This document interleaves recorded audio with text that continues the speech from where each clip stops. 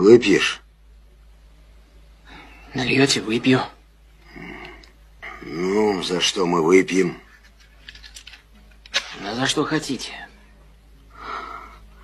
За твое здоровье пить глупо. Оно ведь тебе больше не понадобится. Здоровье хорошее. Это почему же так? Есть у нас сомнение, что ты, мил человек, стукачок.